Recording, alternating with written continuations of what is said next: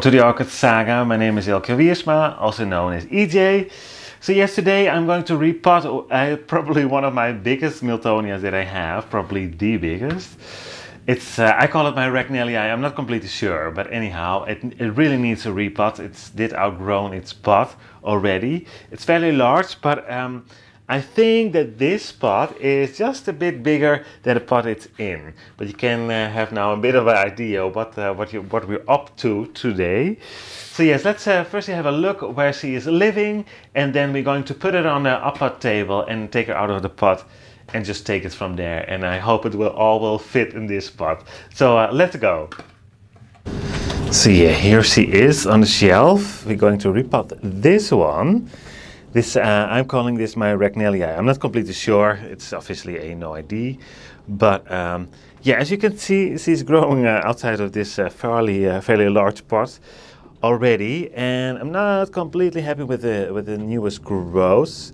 So I think uh, that we really need to make sure that the new parts do get uh, media around them as well, so they can grow a bit stronger, a bit more nicer. I think that will uh, will help.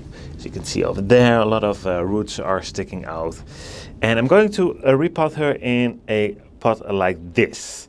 So that should be just a little bit bigger and let's hope I can at least uh, grow her on for a, uh, another year. And we have the first signs of new growth. So uh, a perfect time to repot this giant Miltonia. So yeah, here, here we are, you guys. I hope you could see me. Uh, so yeah, it's a fairly, uh, fairly large plant. I have it for several years, but I must admit that even when I just bought it, I did split it up already, and this one just keeps on growing and growing and growing. It's absolutely beautiful. Like I said, it is. Uh, I call it my Regnellii, but I'm not completely sure. But anyhow, it's uh, what it says on the tag and it's uh, handy for my notes. I do do not do show, so I don't care that much about the name. But anyhow, um, so yeah, let's repot it. I have my second-hand camera uh, on here, my second camera, uh, I should say. And as you can see, it has beautiful moss on here, but also quite some pebbles. So the first thing that I need to do is just get rid of some of those pebbles and the moss will be back. I'm not going to save the moss. I always, uh, these days, have quite uh, quite some moss growing fairly easy in the pots. But yeah, as you can see, it's quite a big orchid. But on the other hand, I'm just thinking, I'm just going to take it out and the pebbles will mix in with the mixer. That's not that bad in this case, because I think I'm going to use uh, clean uh, media anyhow. So meanwhile, I'm just looking and Uh, think about my approach. Um, yeah, I need to put it in this tray. So I will put it first here. So yeah, you guys, this might be a, get a little bit messy, also filming wise, because uh, I'm not completely sure how I should do this. It's not uh, that I'm going to repot every day such a large plant. Uh, but anyhow, let's uh, let's just try. There are the pebbles. Maybe I should turn it around and let the pebbles fall out on their own, so I can grab them fairly easy. Yeah, some roots are attached to the pebbles as well, as it seems to me. So that's why I'm not going to take them out. And I see several new growths Several new growths. So that's beautiful. Absolutely beautiful. Perfect time for a repot. Even though this one is already uh, used to the system. But still. Repotting when uh, new growth is in the make. And oops, with that new roots should be there. Oh yeah, I need to look because these are hanging over. That's always uh, always the best time to, to uh, interfere, to repot. I should say. Um, but now, yeah, I need to take it out. And I don't want to break the pot, but I, there's some movement here. Probably cannot see it, but because I, uh, I might want to reuse this pot. This is transparent and getting big transparent pots is not easy. This is actually a lid of a Tupperware something. I just reused the lid, made it uh, made it into a pot. Um, yeah, there is movement, believe it or not. But now it needs to come out. Uh, I need more hands. Can I pull it out? No. oi, oi, oi. It is because he really has to come out. Otherwise, I definitely wouldn't take her out. Oh, you know. Uh, let's try it from this side. I don't want to pull too hard on the bulbs, of course, and break some. Yeah.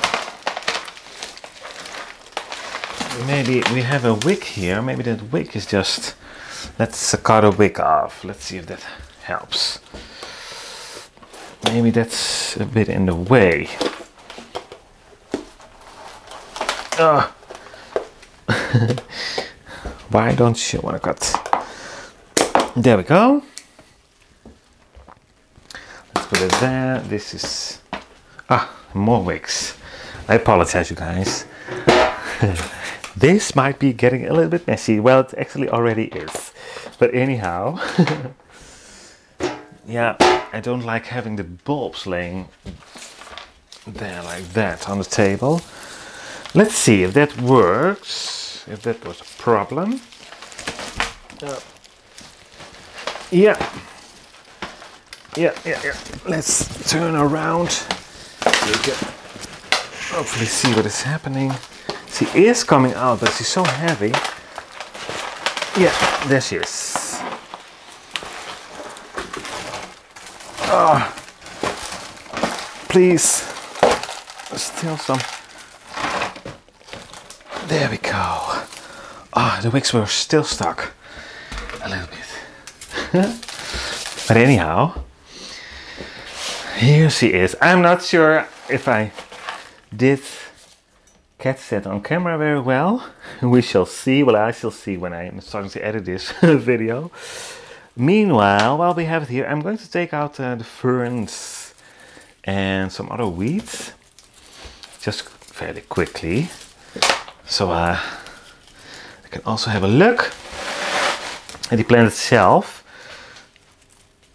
And she looks beautiful. Beautiful. Let me uh, put this one to the side. Try to show you what we are working with because it's beautiful. Look at those roots. Can you see them? Oh my, oh my, what a root system. Absolutely stunning. Beautiful. Absolutely beautiful. I'm not gonna mess with it. No, it looks perfect. I'm leaving it like that. And that's uh, the beauty of inorganic media. You can do that. Oh, and I love it at these moments. Absolutely love it. Don't get me wrong. I do love different ways of growing and, and I love hearing uh, other growers being passionate about, passionate, passionate about, I'm sorry, about growing in bark, for example, or, or sphagnum moss or on mounds. It's beautiful absolutely beautiful. But I do really love the inorganic media. And that's just, it suits me so well. And I don't have to mess with this roof system. It's, it's, it's amazing. And this one loves it, obviously. So yeah, that's, that's just, uh, it's, it's sort of passion. I think I really, really enjoy it. Now, growing art is a, is, is a hobby and a passion, of course. I, at least I hope it is. Otherwise, you might want to start finding another hobby, a different one. Because yeah, it can be sometimes some work. Of course, I'm trying to get some sheets off here while I'm at it, but I'm just, just checking the overall health of the plant. That's okay. I don't uh, need to interfere with it anymore. So that means that we now need to find um, another pot. I have one here that should fit. Let me uh, uh, I need to make some room first. So I can show you guys how I try to measure my pots before I start even trying to get it in, the, the plant in a pot. Let's uh, do this on my second camera here. So you can see that this pot is fitting in the next pot, the newest pot. So it, it is bigger, yes, it is bigger, but I do remember these plants sticking out like this. The newest growths. So yeah, but I don't, I really, really, really, really don't have a bigger pot at the moment. So I'm going to put it in here. It should be fine for at least another year. I hope so. Um, I'm first going to put in a layer of bigger pumice. And then I'm going to reuse, and even though, well, actually it has a lot of uh, media on there still in the root. So normally I just grab a little bit of old media, put it back in because of the beneficial bacteria. If they are there, I would like to get them into the new pot as well. But because this one has such a root system we just saw and there's so many uh, media left, I shouldn't, I not really need to reuse reuse it. Let's put it like that. I'm sorry guys, I'm trying to explain what I'm doing and also trying to figure out the best way to uh, repot this one. So if I'm a little bit messy explaining myself, I apologize. I will try to do, uh, do it the best I can. Uh,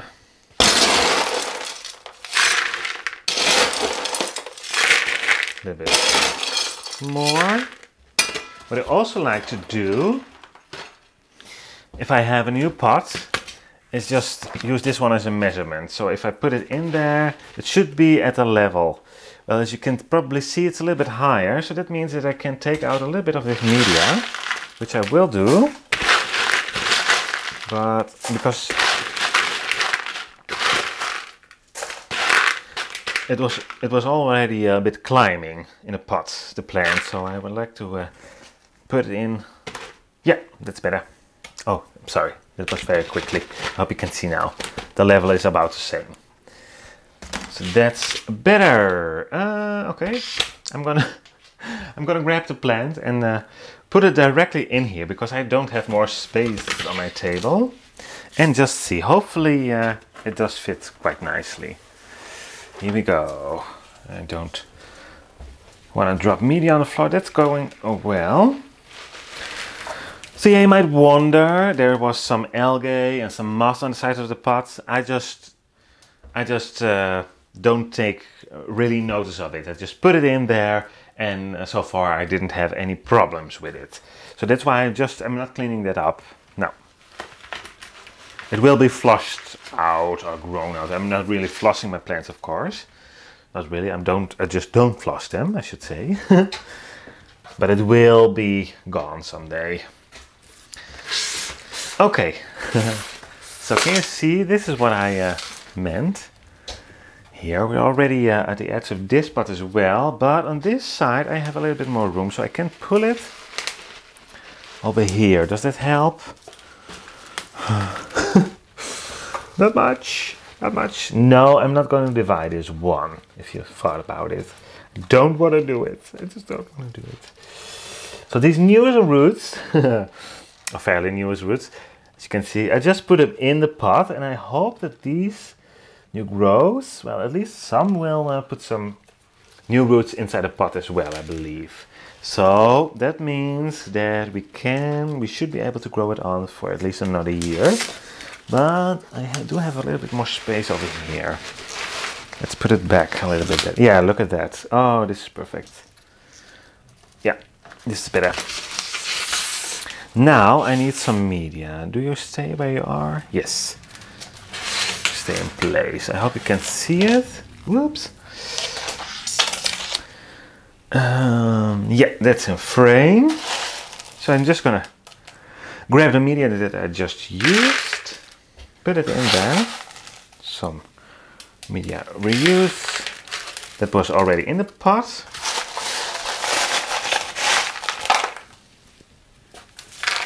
And yes, I'm mixing it up. I use the bigger pumice and the smaller pumice just to get a little bit more air in. because previously it was just uh, growing in only small pumice but it has such a big root system so I like to try to get a little bit more air in there so therefore in this case I use a bit bigger pumice as well uh, for the roots like I said just the air plus uh, first layer was to prevent those small pumice to fall out because there are holes uh, underneath this pot of course so that's the first uh, reason why I use the bigger pumice and now just like I said a little bit more air who knows it wasn't really necessary, I think, because it did so well. But I, I, ha I have a feeling that it's a little bit more beneficial if you get some air in, especially on the colder days. It's just a theory, I'm not sure. But I think the air is, generally speaking, a little bit warmer than something than water, than something that's wet. So in winter it cools down quite a bit here. I have it around 18 degrees in my greenhouse. So I like to get some air in those spots for, for the, especially the, the more warmer growing orchids, just to compensate. I hope that does make sense, but it's, it's a, a theory. I'm not completely sure, but so far I have this one for years. It's doing fine. It's doing wonderful actually, we can say. I wish all markers were doing so well. I'm not complaining, but uh, yeah, this one is just growing as a weed. And it blooms so beautiful. Absolutely beautiful. So if you're long on my channel, you have seen it several times in bloom now. uh, okay, let's move this to the side. Here. Yes. Let's grab this media on the table. And um, yeah, some new media here. Scoop over here. Let's have a look. Are we still in place? Well, no, can move you a little bit more to that side. Just gently pushing the media in. Yeah, I'm completely out of frame. I'm blocked. The plant is blocked. Uh, I'm right-handed, so I'm always working on this side of the plant, but the camera is on that side because I need to move around the table. so it's always a bit of a challenge. But I, I try my best to get everything in shot. So you can see, and I must admit, it's also nice for myself. I uh, like to revisit some uh, videos when I did a repotted plant, just to see what I did and how big they were then and how big they are now, etc. It's always nice. But yeah, it would be better if everything was in frame.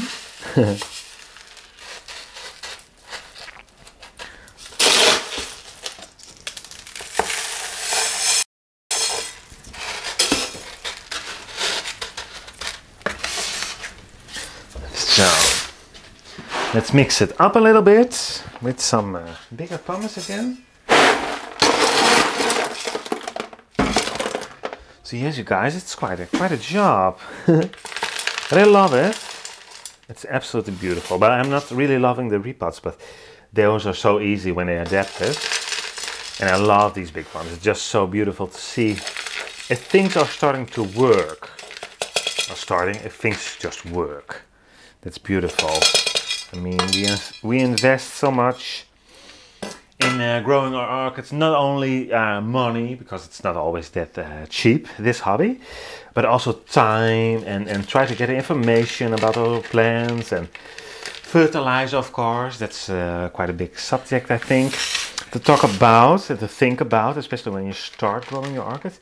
And then after years, you have uh, you will have your oh, actually maybe sooner but you will have the bigger ones this, these bigger successes i think and it's just so beautiful. And i love filming it because if you start out or you weren't just so successful with some plants just never give up. And because you will find a way to grow them or at least some if you have if you start to uh, understand your climate, for example. If you have a colder climate, a colder, there are orchids who really enjoy that type of uh, climate, for just for example. And you can find probably ones who are very suited, and you will have your your success, successes with them, which is beautiful. I must admit, uh, by the way, uh, when I started to getting my first successes, my plants did start doing better. I was really inspired to even buy more because I thought, well, if I can grow this one, this Miltonia, I can have that one now as well. It's a bit more expensive, but my Miltonia started to do better, and so that's how I started my collection basically. But yeah, it's just beautiful, I think. And if you can do it, if you have the time for it, well, why not? It really helps me. It's very, uh, very healthy for me at least. I have a quite, I can have quite a busy day life with my work and my plants. My grow space, my orchid room, we are now in the orchid room and my greenhouse is, it's just so, I'm so happy that I have it around me. I just, feels like I can escape the real world, a world in some some way or form. It may sound a little bit silly, but it's just so nice, quiet, and peaceful here, and also beautiful flowers. It's really, uh, yeah, good for my mind. Absolutely, and I love it. Let's turn this around. Can we see this part? Yes. So I'm going to put in a little bit pumice here. So yeah, that should do the trick. It's a little bit over here. It's a bit more open. Oh, you cannot see it. I apologize. And what is my camera doing? Oh, wait a second. I'm going to make you dizzy. If you are on camera two, it almost fell out of the, of the table. Here we go. Let's adjust as well doesn't adjust very easy. I apologize. There we go again. So this looks better, I believe. Let's move this to the side and have a last look at this beauty. I'm going to turn it around. Oh, I'm sorry. there's old media here. No, not old media, there's media here. Do I have a bit of a claw? Yes. Let's grab this quickly.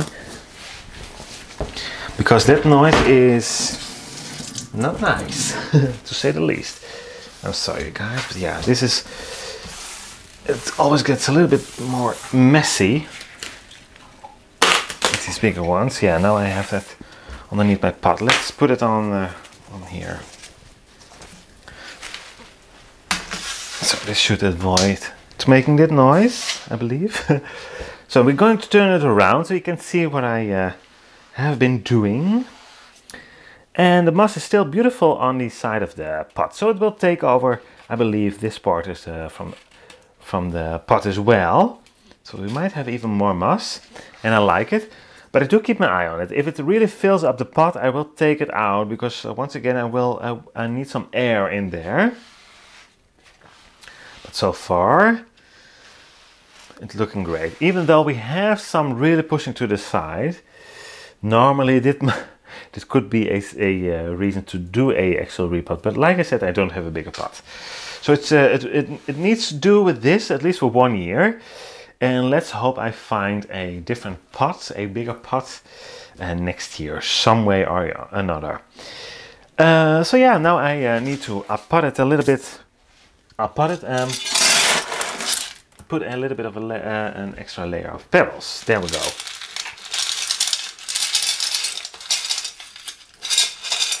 Like that. A bit more pebbles here.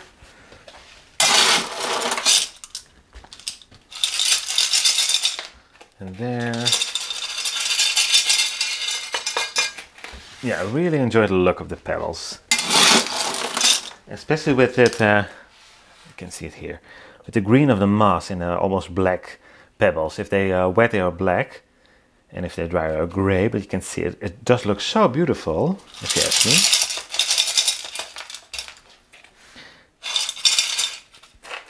There we go.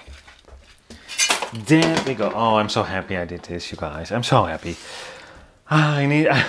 I was looking at it for weeks actually, maybe for months, and I knew I need to repot it, but I just keep on uh, uh, saying to myself, well, next week or next month, uh, etc. But uh, I finally said, well, today I'm, I'm going to do it. I'm going to do it. Just uh, get the job done. And we did, we did, we did.